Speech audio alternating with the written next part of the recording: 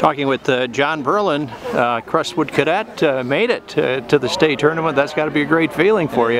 Yeah, Uh, Did you did you know you were in the top uh, ten when when you when you finished? I knew there's. I knew when I finished I was, but whole race in the ninth, eighth spot, both times kind of kind of gets to you. Makes you worry a little bit. Oh, okay, so so you were wondering if somebody from behind might come come and come and get you. Peek over the shoulder every once in a while, make sure they weren't too close. But, Okay, and it looked like uh, you, you were pretty well used at the end too, yeah, huh? You gave it your all.